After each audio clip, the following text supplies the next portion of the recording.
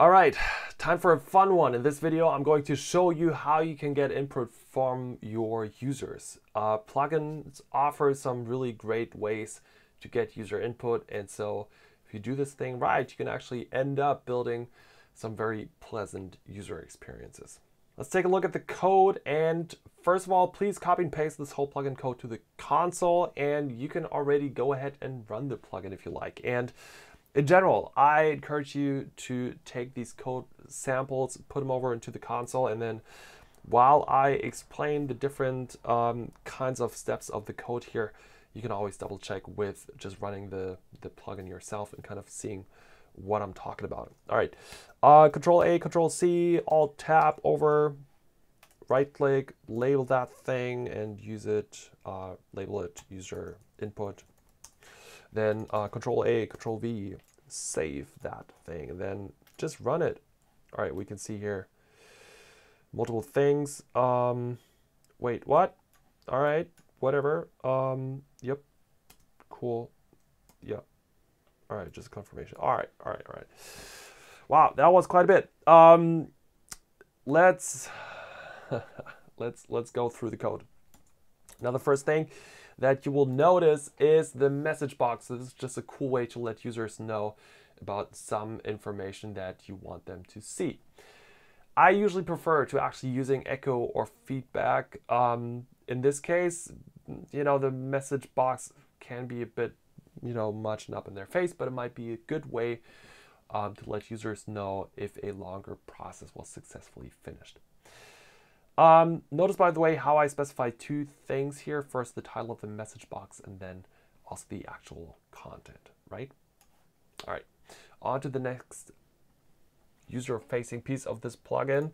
Um, a confirm. This is a really fun one because it essentially lets you um, lets users confirm or not confirm something. In the way that I brilliantly designed this example, you can already see which way this can be useful. So what we see here is that based on the confirmation result, we can either delete a specified executor or not. So confirmations are great because they actually let you um, sort of get user approval or not approval, you know, whatever, and you can react to that.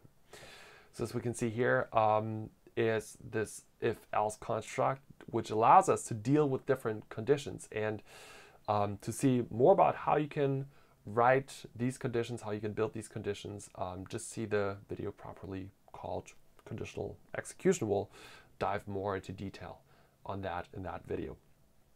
All right, so yeah, it's, I'm, you know, it's not that hard to understand, I don't think. Um, we essentially just sort of run this up here and then, um, you know, if it's positive, we'll nuke it, and if it's not, we will actually sort of hold off. So also pretty simple, I want to say. Um, again, we have the title here and then the um, body or the, the main text of this confirmation window down here. All right, lastly, let's take a look at text input. And we already saw that quite a bit, right? I mean, that's nothing new to us here. But what I want to do instead with this part is I want to jump over to the documentation with you because there's one thing that's really interesting about it.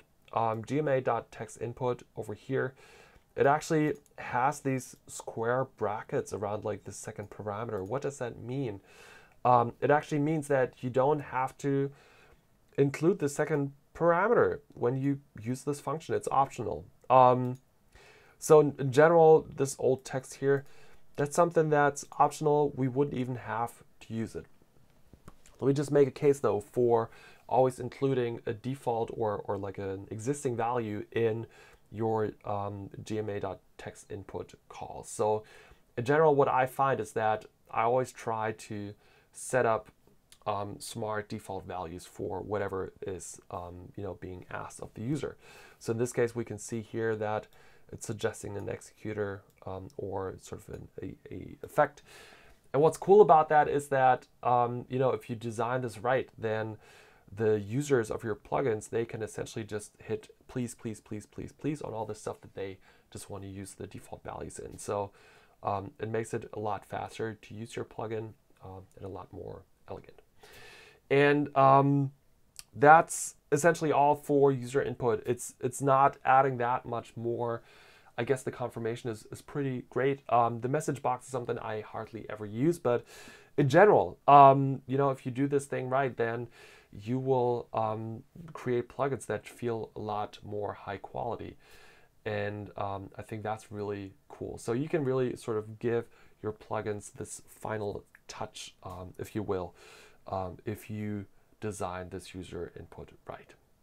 And also one last thing, you can find even more uh, sort of user facing feedback mechanisms in this progress bar. I just don't ever use it. But in general, if you're curious about that, you can always um, check back with the example plugin where um, they give you an example on how to use that.